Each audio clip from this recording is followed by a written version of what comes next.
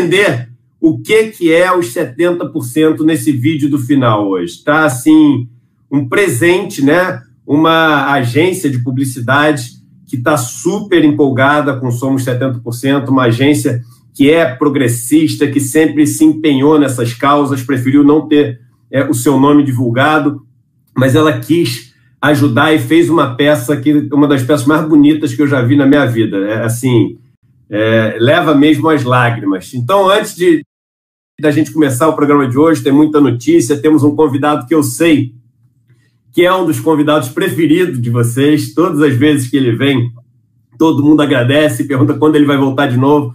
Foi o primeiro convidado que, quando a gente conversou, a gente sofreu um ataque virtual que derrubaram o YouTube, né? Então, nós temos história juntos aqui é, nas nossas conversas. Eu queria dar um bom dia para ele, receber com todo carinho esse grande irmão de caminhada, essa que é uma das pessoas mais lúcidas e inteligentes que eu conheço, o Gessé Souza. Tudo bem, Gessé?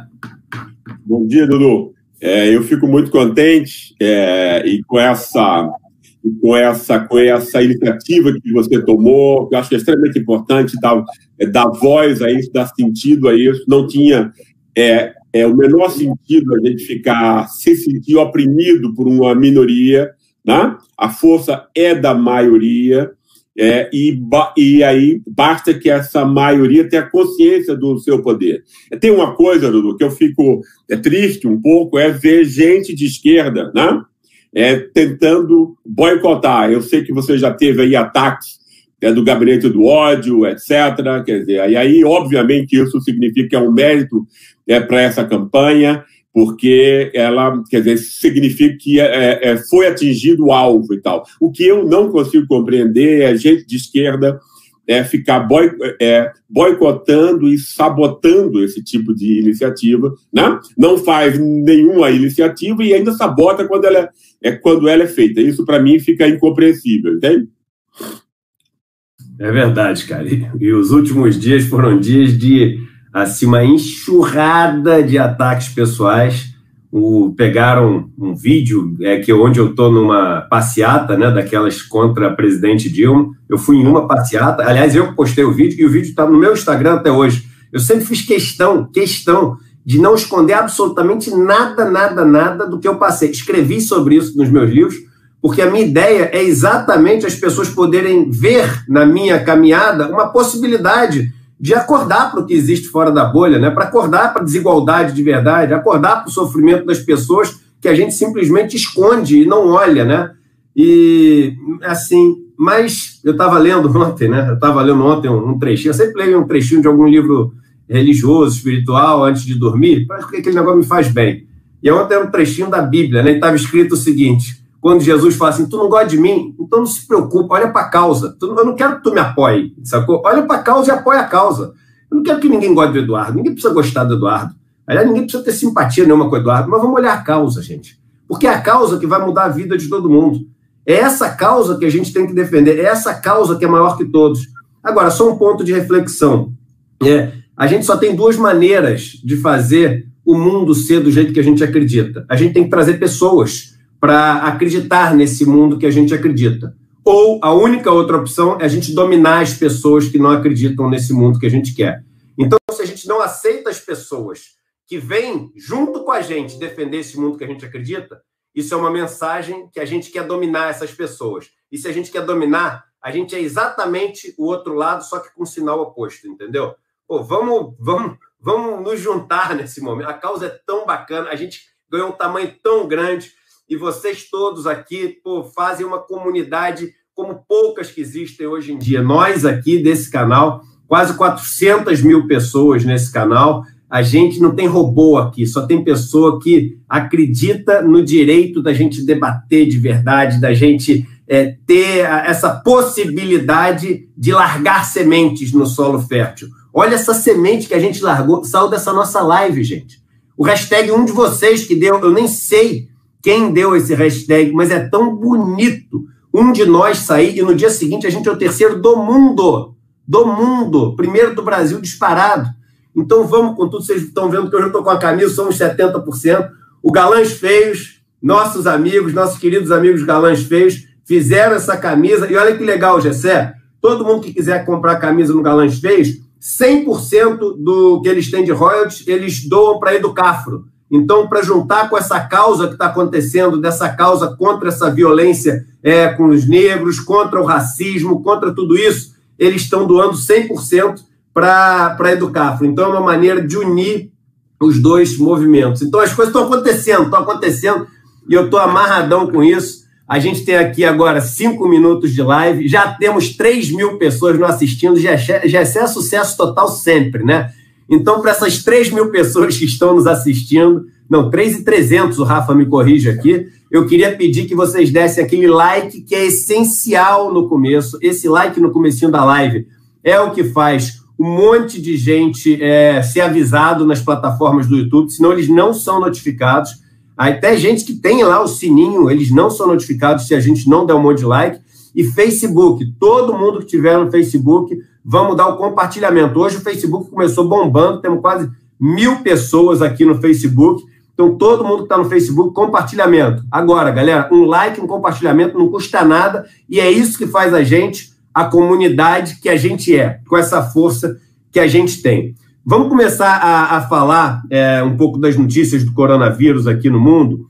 O mundo que hoje está é, tá com quase 390 mil mortes confirmadas, são 388 mil mortes, são 6,6 milhões de casos oficiais. Os Estados Unidos continua liderando, lá você tem cento, é, cento de, 109 mil mortes, perdão, e quase 2 milhões de casos né, nos Estados Unidos. Você tem, assim, um crescimento muito rápido e agora um, um medo desse crescimento ser ainda maior com essas aglomerações que estão acontecendo é, nos Estados Unidos, a gente vai falar sobre elas aqui, mas o, epicentro da doença agora é, no mundo são é, Brasil, México, Peru, países da América Latina, né? Você tem outros países onde o crescimento ainda é grande, como o Paquistão, por exemplo, que ontem passou a China em número de casos. Paquistão, que é um país que tem mais ou menos ali a mesma população é, do Brasil, é, mas que são países mais pobres. A gente falou aqui da Índia, que é um país que está crescendo para caramba também.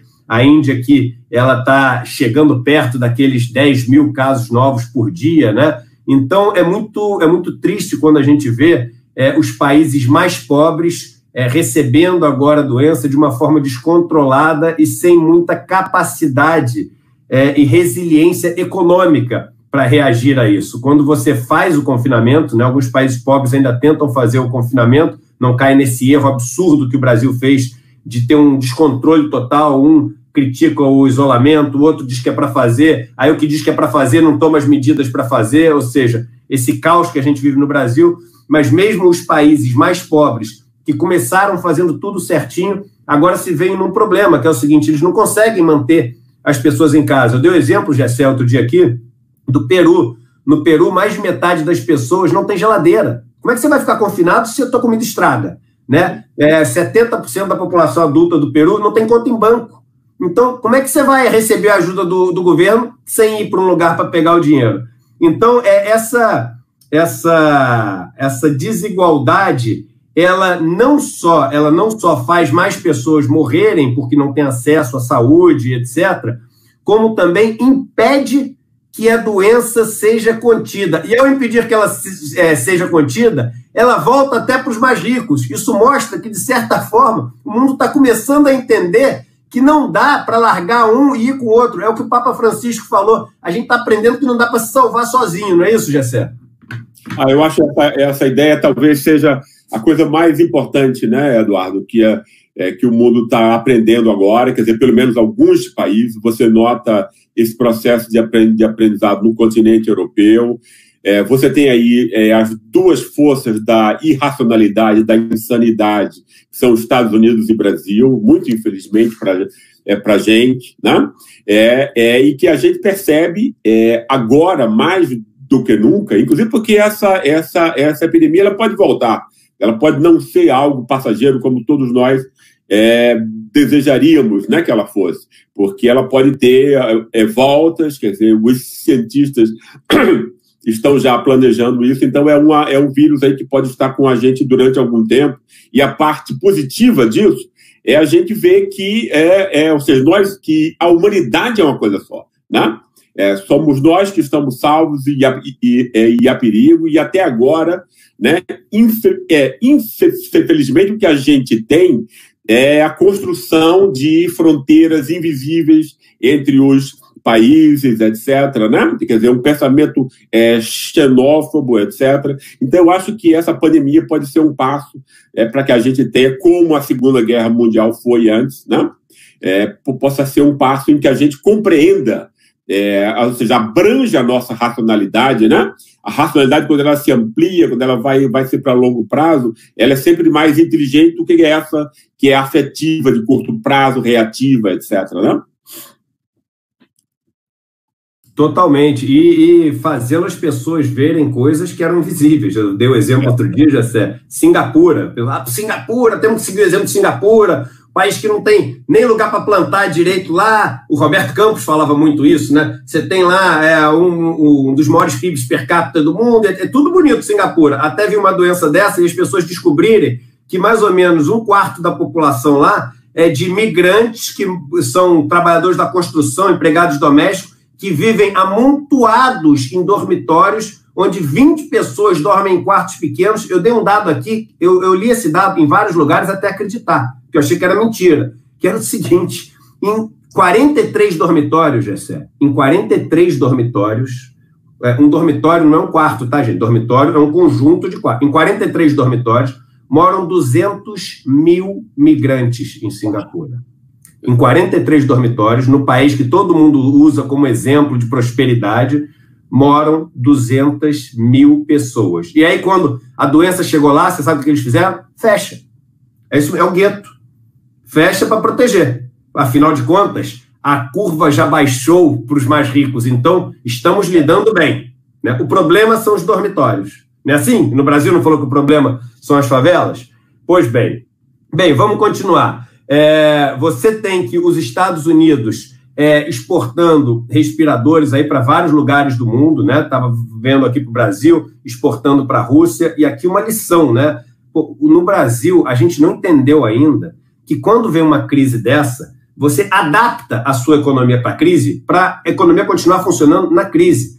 Quando Wuhan, que foi o lugar onde surgiu a crise, teve alguns novos casos agora, em vez deles fecharem, fica todo mundo em casa, que, que eles fizeram, Gessé? Vamos testar os 11 milhões de pessoas. Em, no, em 15 dias, testaram 9,9 milhões de pessoas. Você acha que para testar 9,9 milhões de pessoas, você não tem que ativar a sua economia? Não tem que ter um esquema logístico enorme? Não tem que ter gente suprindo a comida para essas pessoas? Não tem que contratar médico, é, segurança? Não tem que fazer contenções? Não tem que comprar equipamento? Tudo isso, gente, é o dinheiro circulando é as pessoas é, usando o que elas têm de possibilidade para fazer é, a economia servir aquele propósito, porque economia é isso, economia é meio, é gestão do lar. Economia não é um fim. Não estamos todos aqui para salvar a economia. A economia está aqui para salvar a gente. Isso que as pessoas têm que entender. Vamos salvar a economia. E quem é que vai salvar a gente? E quem é que vai salvar a gente? Então, é, isso é um ponto que é, que é muito interessante. Agora, vários países que estão saindo da crise, né? É, como, por exemplo, a Coreia do Sul, vários países da Europa saindo também, lidando agora com uma segunda onda de pequenos surtos. Então, na Coreia, você está tendo vários pequenos surtos, esses surtos associados muito a encontros religiosos, né? É, e alguns eventos é, sociais que as pessoas estão tendo. É, teve aquela boate que foi famoso, aquele caso, mas muitos eventos pequenos. E a gente deveria estar observando isso. É um país que conseguiu achatar a curva, que está cheio de leito é, vazio, que está com a situação absolutamente sob controle. Quando viu isso, já fechou as escolas todas novamente, já entrou no, no modo proteção. No Brasil, você pega o Rio de Janeiro, onde você está no auge do topo do negócio, e o prefeito fala: não, pode voltar a se reunir em culto religioso, pode voltar a andar no calçadão, pode ir para a praia, pode isso. Então, assim, a gente deveria olhar, eu sempre repito, o carro da frente. Carro da frente está caindo no buraco, não vão cair no mesmo buraco. Cair no mesmo buraco é burrice. Né? Vamos desviar. Agora, não só a gente não desvia, como parece que a gente mira nos dos buracos. Né? Ou seja, o que, que aconteceu lá? Foi evento religioso? Então vamos abrir evento, evento religioso. Cadê o buraco para eu cair no buraco? Então é um absurdo é, esse negócio que está acontecendo. Os Estados Unidos continuam com muitos casos. Ontem você tem 20 mil é, novos casos é, nos Estados Unidos, né? Muitos hábitos mudando nos Estados Unidos e no mundo, cada vez mais pessoas, óbvio, isso principalmente em países que são países mais avançados economicamente, começando a fazer pagamento só por aquele negócio de celular, que se aproxima celular. Isso, para mim, é, é, de certa forma, é triste. É claro que é facilidade, mas as pessoas elas estão se distanciando nesse contato do dia a dia, o lance do, do abraço, do afeto, do, e está virando cada vez mais uma coisa virtual, distante. E a gente é tão mais manipulável quando a gente fica sem esse contato físico, eu acho assim, né? Porque no contato físico tem verdade, assim. Eu sempre falo o seguinte: muita gente critica o, Stedley, né? Do MST. Aliás, quem me apresentou o Stedley foi o Gessé. Mais um que eu tinha um preconceito enorme, veio o Gessé, esse anjo que caiu do céu, e me apresentou essas pessoas tão bacanas. Pô, o Stedley, eu aposto, qualquer pessoa que não gosta do Stedley, se essa pessoa passar 30 minutos sentado conversando com o Stedley, vai sair querendo dar um abraço no Stedley e pô, agradecer pelo Stedley existir entendeu? E é isso. Eu lembro quando eu tive com a Dilma, passei um dia inteiro com a Dilma uma vez, é, no Sul, eu tinha também a maior visão da Dilma. A Dilma que falava coisa errada, que se atrapalhava, que, não, que, que a, a, a imagem, é o personagem. A gente vai comprando personas, personas, personas e personagens que são vendidos com a gente. Puta, eu fiquei encantado com a Dilma, encantado. Aí no final pedi para ela escrever uma carta para minha esposa, né? Minha esposa fez o filme do Lula foi Dona Marisa, então ela conheceu muito a Dilma naquela época. E aí, quando ela escreveu a carta, a carta é de um carinho, Jessé, que na hora eu comecei a ali ficar emocionado, chorei assim.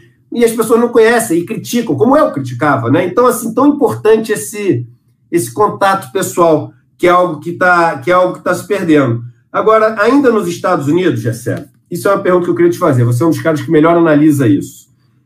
É, você está tendo esse embate muito grande, a população já vinha de um estresse muito grande por conta do coronavírus, e aí, nesse clima de tensão, nesse barril de pólvora, a gente acende um fósforo que é a morte trágica, absurda do George Floyd.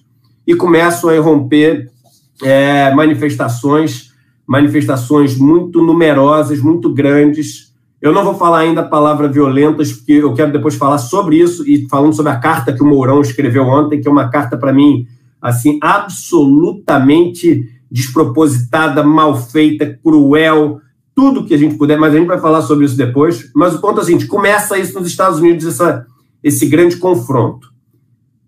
Esse confronto é bom ou ruim no momento eleitoral para o Trump? Porque você vê as duas análises. Você vê as análises que dizem agora tem uma onda contra o que está acontecendo, e tem a outra análise que é o seguinte: todas as vezes que as coisas vão muito para desordem, a tendência das pessoas é ser mais conservadora no voto. Você acha que isso está acontecendo nos Estados Unidos? Pode ter qual tipo de impacto? É. Essa é uma questão muito interessante. A gente não sabe de antemão nunca essas coisas, mas como você disse, é, é, a política é muito, é muito interessante, né? É, não é, Eduardo? Porque ela é, antes de tudo, afetiva. Né? Aliás, a, é o comportamento humano, ele é, antes de tudo, afetivo. Né? E que você havia é, notado a importância desse encontro pessoa a pessoa, encontro da rua, etc., né? que era uma coisa que as redes sociais, em geral, já estavam é, interrompendo, porque é uma, é uma forma, dizer, claro, quando a, gente, quando a gente não tem nenhuma outra opção, Obviamente, o contato virtual é melhor do que nenhum contato, né? Mas, como você disse, essa coisa de você olhar no olho, né? O olho no olho para o ser humano, né?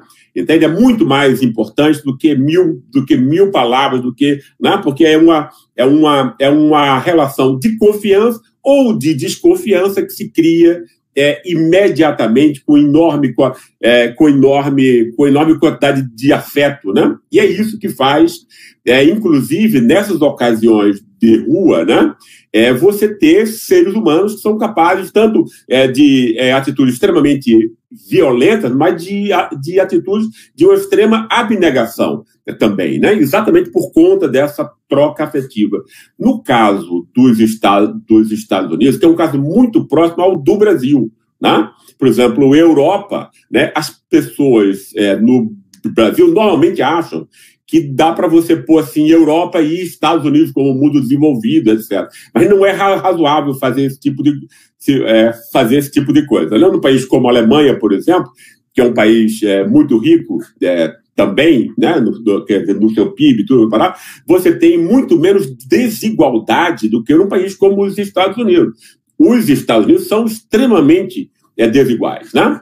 É, e isso é muito visível, era uma coisa escandalosa para mim no tempo que eu morei lá. Né? Você, você vê um país tão rico, né? circunstâncias de extrema, extrema pobreza em grandes cidades como Chicago, Los Angeles, Nova York, né? etc. Então você tem aí, é, tanto no Brasil como nos Estados Unidos, uma, uma população que está perdendo emprego, está perdendo a fé no futuro, está ganhando menos dinheiro, né? não pode mais pôr o filho na escola, na universidade, etc, etc. Então isso traz uma traz um ressentimento tá sem causa, sem causa porque o capitalismo financeiro, ou seja, esse essa dominação dos bancos, essa frase do é do é Paulo Guedes no fundo que resumiu muito melhor do que, que eu, qualquer um de nós poderia dizer, né? Ou seja, são seis bancos que faz é, 200 milhões de pessoas de imbecis, né? Então você, você tem aí, né? Quer dizer, como a imprensa também é comprada por esse pessoal, esse pessoal, quer dizer, é, é, é, as pessoas não compreendem como elas são exploradas, né? Não compreendem como elas são roubadas nesse esquema via juro, etc., que é muito difícil de ser compreendido. Então tem um grande ressentimento no ar e que as pessoas não encadeiam um fato ao outro, né? É, o, é, a, a, no fundo, a eleição de um cara como Trump e de um cara como Bolsonaro foi vendida como anti-elitista. Né? Ou seja, foi uma sabotagem dessa tradição popular anti-elitista, que é muitíssimo importante no país como os Estados Unidos e que tem é, também a sua importância aqui. E as pessoas, ob obviamente, não receberam nada é, em volta disso, porque é isso que está nesse, é, no, nesse novo projeto da extrema-direita. Né? É, não se dá nada materialmente para as pessoas. Bolsonaro não dá nada a ninguém, não dá um Bolsa Família, não ajuda na casa, não ajuda na educação, não aumenta a renda, o contrário, diminui a renda. Né? O que ele dá são esses, é, como você já, já tinha, já tinha dito, dito antes, um trilhão e 200 bilhões para os bancos que agora estão, né? E era até bom que você tocasse nisso. Aonde está essa grana? Esse pessoal embolsou essa grana.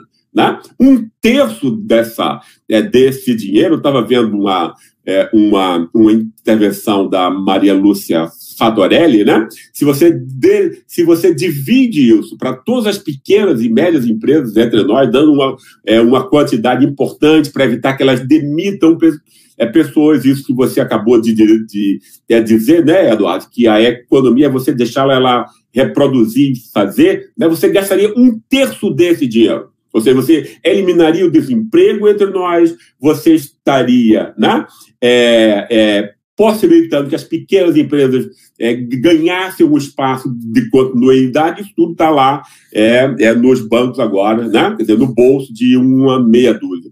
E é, embora as pessoas não tenham essa articulação é, refletida, elas sentem de, de algum modo que elas estão sendo roubadas, etc. Então basta o quê? Basta você acender um fósforo.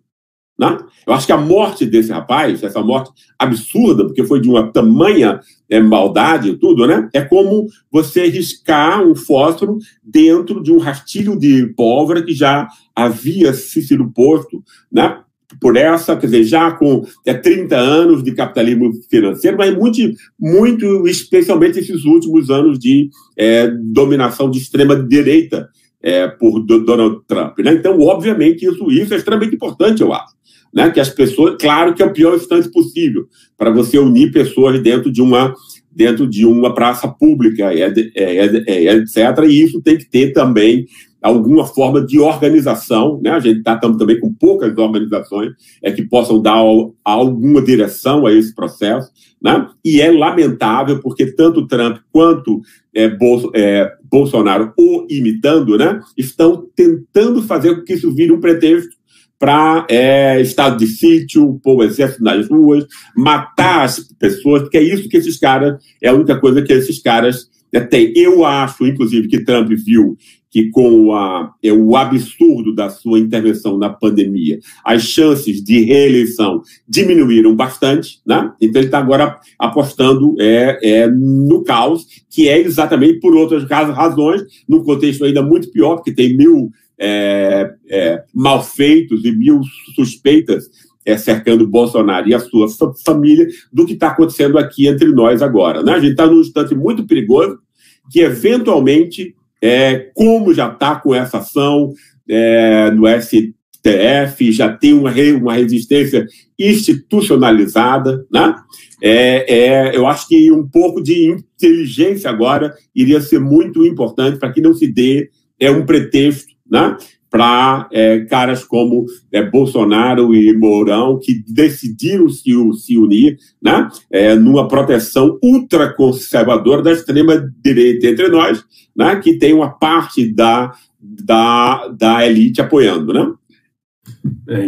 Tem uma, uma frase que uma amiga nossa falou aqui no, nos comentários enquanto você falava, já sei que é o seguinte o Brasil não é o mesmo depois dos livros do Gessé. E é verdade, todos esses termos que a gente usa, da a ralé, e aí fala dessa questão do, do, questionamento de entender como funciona a nossa classe média, essa questão do racismo como sendo algo absolutamente fundamental para a gente entender essa sociedade que a gente tem desigual e injusta brasileira. Tudo isso a gente é, deve, em boa parte, aos livros do Gessé, eu sei que 90% das aí não é 70%, 90% das pessoas já leu ou conhece teus livros aqui, mas quem não leu ainda, é os livros Classe Média no Espelho, A Elite do Atraso, e o novo, qual é o nome do novo, Gessé?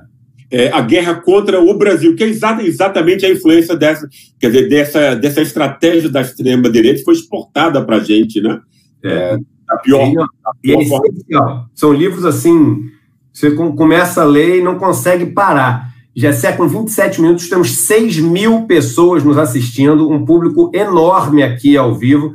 Queria Maravilha. pedir, gente, vamos tentar bater 10 mil hoje. Eu sei que está longe, mas vamos tentar bater todo mundo. Por que, que eu estou falando isso? Porque hoje a gente tem a história da peça lá do Somos 70 e que, putz, vocês vão ficar emocionados com a história. Ser... Agora eu acho que eu posso confessar para vocês, né, Dudu?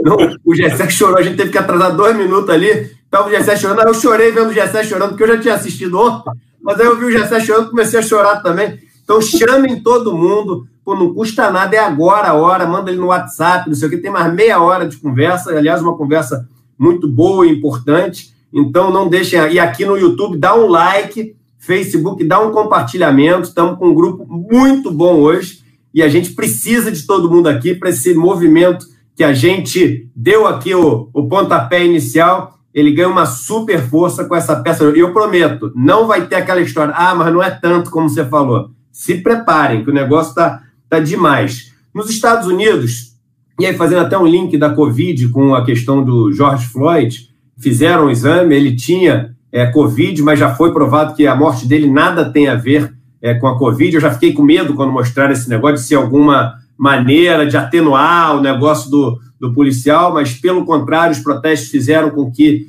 é, a acusação do policial saísse de assassinato de terceiro grau, que é aquele onde a pessoa é, não tem a intenção né, de matar, para segundo grau, que é quando ele tem a não é premeditado, como é no primeiro grau, mas ele acontece no calor do momento com a intenção, e os outros três policiais foram acusados. Ou seja, para quem acha que protesto não dá em nada, é, vocês veem que é, eles estão conseguindo coisas e algumas cenas bonitas, Jessé, porque os protestos continuam. E o, o, Trump fala que vai botar forças armadas, ele mandou a Guarda Nacional para os lugares todos, para Washington, e em Washington você tinha num protesto pacífico os caras jogando pepper spray, tem uma cena do repórter da CNN vindo na cara dele, o cara é repórter, tá ali filmando, tomando, e todo mundo pacífico do lado, apesar dessa agressividade toda em alguns lugares no, nos Estados Unidos, como por exemplo New Orleans, Boston, os policiais todos se ajoelhando junto com os manifestantes.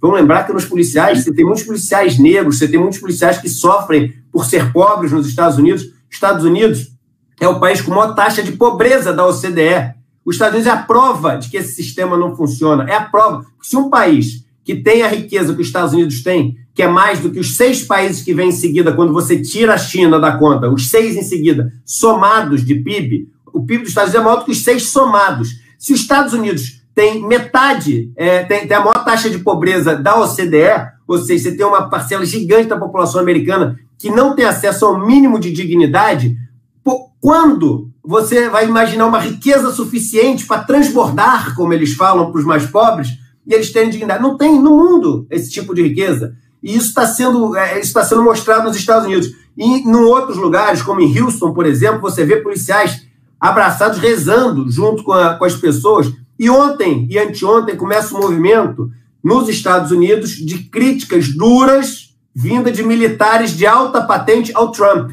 Isso é uma coisa nova que está acontecendo nos Estados Unidos nos últimos dias. A crítica de militares de alta patente é uma crítica ao Trump. Eu queria que você falasse um pouco, é, os Estados Unidos, Jessé, eles têm uma população de negros em torno de 12%, 13% aí da população, entre 10% e 13%, você vê as estatísticas variam um pouquinho, tá? É, e você tem essa capacidade de eleger um presidente negro, você tem essa capacidade de fazer protestos como esse, é, você tem essa organização, você tem historicamente grupos como os Pantera Negras, você tem vários grupos com uma força política enorme. O Brasil tem 54% de negros e crimes bárbaros como esse do George Floyd todos os dias. Por que, que a gente. E eu sei que assim, eu não vou cometer o erro de dizer por que, que a gente não se. É claro que a gente se revolta. Tem a, a, a gente tem queima pneu, queima. A gente faz também os nossos protestos. Mas por que, que a gente está tão mais distante dos Estados Unidos de conseguir eleger um presidente negro com uma maior parte da população? É, é uma questão da mídia, é uma questão mais estrutural. É, a escravidão no Brasil foi diferente dos Estados Unidos. Dá um, uma aulazinha para gente de qual a diferença básica daqui para os Estados Unidos, por favor, Gessé. É, eu acho que tem um aspecto, é, isso que você toca é muito importante. A gente tem uma. Tem uma é, a gente teve aqui o que alguns escritores chamam de a válvula de escape do mulato. Né?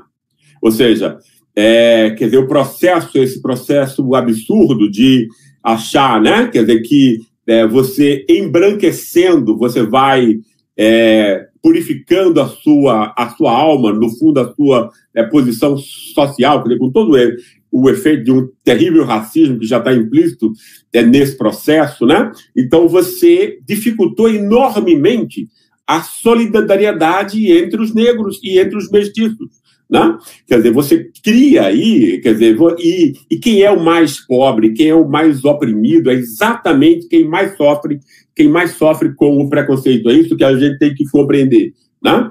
É, quer dizer, na classe média você tem a possi possibilidade de você ter, é, enfim, muito maior distância, acesso à informação, uma distância cognitiva em relação ao, ao É claro que pouca gente da classe média é, aproveita essa possibilidade. Mas essa possibilidade está retirada dos muito pobres, né? onde você é efetivamente, né? por exemplo, no caso, é, inclusive, você tem é, entre os muito pobres e entre nós essa oposição que se cria muito maldosa né? entre o pobre e honesto, esse homem de bem, evangélico, etc. Embora, claro, eu sei que não é a, a quer dizer, não é a totalidade dos pastores, etc., nem muito menos é, dos fiéis, né, que seguem isso, etc.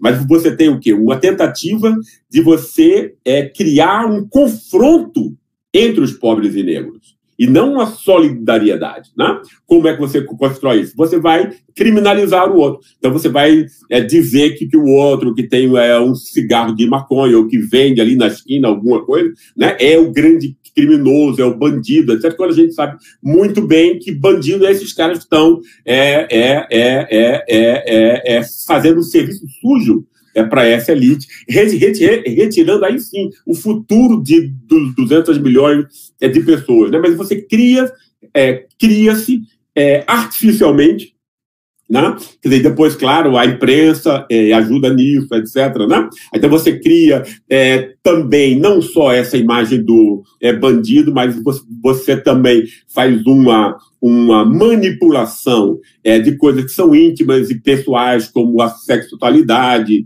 né? o fato de se você é homossexual ou heterossexual, e criminalizar é a homossexualidade, etc. Quer dizer, isso tudo é um jogo né, que está é, presente no tipo de ensino evangélico de um Edir Macedo, né, quando ele diz que as mulheres não devem ir para a universidade, né, é, não é, Eduardo, que, que elas são escravas, independentes do homem, o que esse cara está fazendo é exatamente o quê? Criar uma guerra entre homens e mulheres. Né? Né? porque ninguém aceita, nem homem nem mulher, né? é uma situação de submissão, ser condenado à submissão. Né? Embora algumas mulheres é, possam não, não expressar isso, elas vão sabotar esse cara a vida inteira. Vão sabotar esse cara, a família, isso é humano. É como os seres humanos reagem a isso. Né? Então a gente tem o quê? É, todo um governo, uma sociedade, uma igreja, né? e agora um partido político, né? miliciano, etc., né? montado em quê? Montado em você criar, ao invés de você, só, em você unir e, vo, e você solidarizar os pobres e os negros, né? para você criar confrontos e lutas absolutamente artificiais entre eles, né? E isso está séculos entre a gente, né?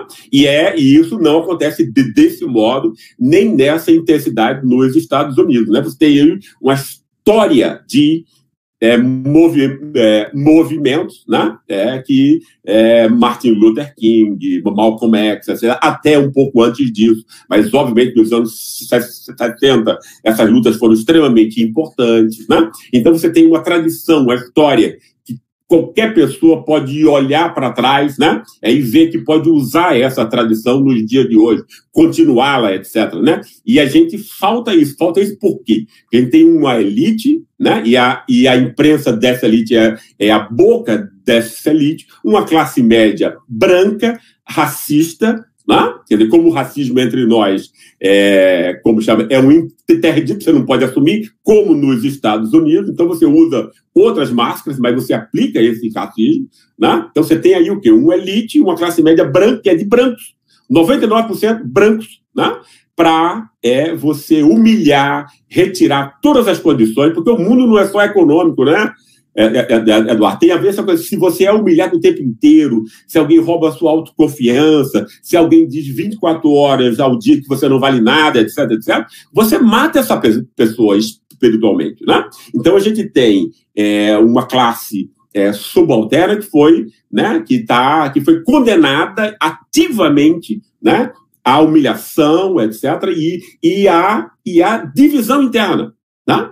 A divisão interna como um projeto político consciente, né?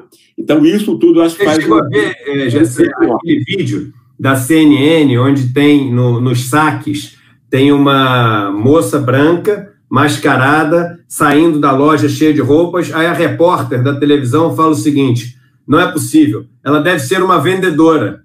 Seja, é incrível, se fosse uma negra, né, você não teria a menor dúvida. E as Pronto. pessoas não conseguem se reconhecer nisso. Outro dia, numa conversa aqui, com o Laurentino Gomes e com a Kate Lima, é, eu cheguei e falei o seguinte: caramba, eu queria aqui, através de vocês, mas é mais talvez meu com Deus, eu comigo mesmo, eu com meu passado, eu queria pedir desculpa, porque hoje eu percebo tanta coisa que eu fiz racista, assim, do pensamento à ação, de piadas a comentários, e, e, sem saber, às vezes até um comentário como você falar o seguinte: ah, mas é, não, todos os brancos não. Você já não está, você já está diminuindo o problema, que você não pode diminuir. Então, são tantas coisas, né? E um comentário como esse que ela fez é um comentário que mostra como passa despercebido essa história.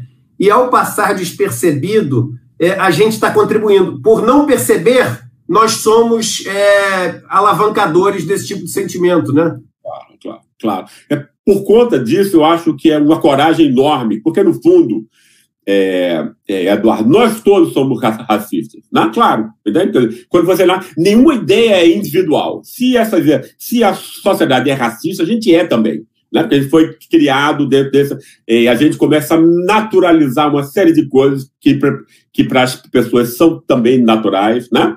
Então, é, é preciso muita, muita verdade e coragem de admitir isso. Porque o processo de aprendizado humano, que é a coisa mais bonita que existe, é você, né, é você nascer de um jeito e você se tornar melhor.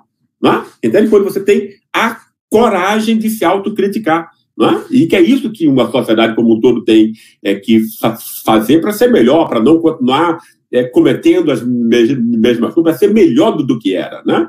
É, isso vale também para para isso que, a gente estava conversando antes, pro, dos 70% é, por cento dessa crítica absurda que é, fizeram a você pescando o negócio lá do passado, como se você não tivesse o direito de aprender, como se isso não fosse um enorme, como se isso não, não fosse uma virtude tua. Né? Entende? Você ser capaz de aprender com coragem admitir isso, reconhecer e se tornar um exemplo a partir disso para os outros, né? Entende? É preciso muita mediocridade humana de, de você criticar esse tipo de coisa que vale exatamente para o racismo, né? É verdade, cara. E falando, trazendo essa, essa história do racismo e falando de Covid no Brasil, entramos aqui nos nossos últimos 20 minutos, estamos com um público de quase 7 mil pessoas nos assistindo, está incrível hoje aqui a audiência entre o Facebook e o YouTube, pedindo para todo mundo, galera, like, chama os amigos, compartilha no Facebook, vocês não vão se arrepender com a surpresa do final. E falando de Brasil, Gessé, o Brasil ontem, mais um dia de recorde. Aliás, ontem, se não me engano, só Brasil e México no mundo tiveram um número de recorde de mortes. Brasil, mais de 1.300 mortes. É, e o governo, a medida do governo, do ministro que não é ministro, né, é, e que montou o seu ministério é, só com militares, quase todos não ligados à área médica, só ligados à área logística. É claro que você precisa de logística para uma crise dessa, mas mais parece uma operação para lidar com os mortos do que para salvar as vidas, né? É, e o, o, presidente já falando que ele vai ficar lá por muito tempo, é, coloca como secretário da saúde o Carlos Wizard, que é um bilionário de curso de inglês e aí a primeira medida dele é dizer que ele vai apostar todas as fichas na cloroquina, que o mundo fez um estudo enorme. Ele falou isso. O bilionário, que não entende nada de saúde, que fez um curso de inglês, é o secretário da saúde no ministério que não tem ministro e vai apostar no remédio que não é remédio para isso. Como é que as pessoas, eu juro, como é que as pessoas assistem isso? E podem achar normal.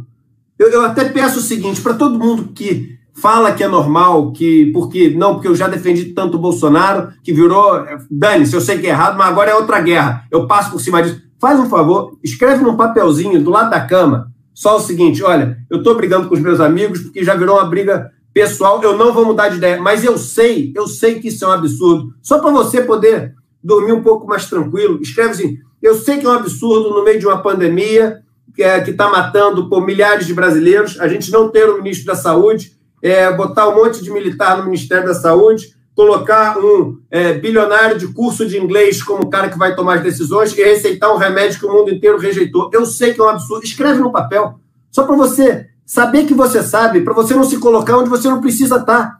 Você não precisa estar tá do lado do absurdo. Entendeu? Você pode odiar petista, odiar cirista, odiar tudo, mas você não pode achar isso. Ninguém pode achar isso normal. Ninguém pode achar ainda terra plana. Não, não pode, gente. Entendeu? A, a não ser que a vida seja tão cruel com você, mas tão cruel, que a vida te maltrate tanto, que você quer fugir para o reino de Nárnia, que você quer fugir para um reino de Harry Potter, que você quer criar uma realidade, uma fantasia que te tire desse sofrimento todo. E é por isso que eu tenho uma compaixão com essas pessoas que deve ser tão sofrido você ter que criar um mundo tão diferente da realidade, que não é, é mais do que um mundo ideológico, é um mundo fisicamente diferente, onde as curvaturas se tornam planas. Ou seja, é, a estética, o, o, real visto, ele muda também.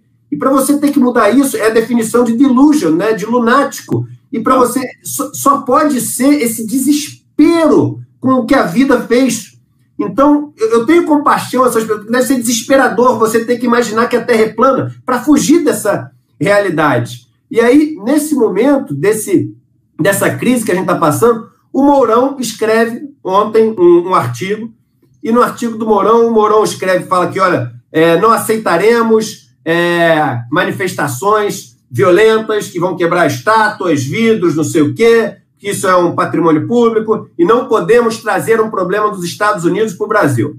Tudo é absurdo nisso que o Mourão escreveu. Tudo é absurdo. Primeiro que fala assim, não aceitamos violência. Como é que um governo que está vendo as pessoas dormindo no chão, esperando há dois meses para ganhar 600 reais, e tendo seus pedidos é, negados, não vê violência nisso, com milhões de pessoas? Como é que um governo está deixando milhões de pessoas na fila do Bolsa Família, do BPC e da aposentadoria, que são pessoas idosas, doentes, miseráveis, não vê violência nisso? Como é que um governo que pega e, e incentiva iniciativas de, é, que acabam com reputações, que destroem vidas, pessoas que nunca mais vão se expor, pessoas que os filhos na escola passaram a ser atacados pelos amigos, pessoas que tiveram para sempre a sua história arruinada. Não vê violência nisso. Algumas pessoas se matam, já se mataram, não só no Brasil, como no Não, não vê violência nisso. Então, não tem risco de descambar para a violência no Brasil, porque já é um fato a violência, e a maior das violências. Isso que o general fala mostra que ou ele não está vendo toda essa violência, ou ele é de uma crueldade que é assustadora. E dizer que a gente está trazendo o problema do racismo dos Estados Unidos para o Brasil é também tão agressivo, tão, tão maluco, tão é quase que sádico, né? É quase que o prazer em ver esse sofrimento, em implicar, em gerar esse sentimento de indignação. O que, que você achou dessa carta do Mourão ontem, Gessé? Eu não, eu não li ainda. É, eu, eu lhe confesso, Eduardo, aqui a gente toma, toma o frontal antes. De... Quer dizer, você já, já fez um, é um facsímile, já fez um, um resumo. Eu vou lê-la antes do nosso jornal lá, do Fora Bolha, que a gente vai certamente é, comentar isso, mas ele já deu para ter uma ideia. É do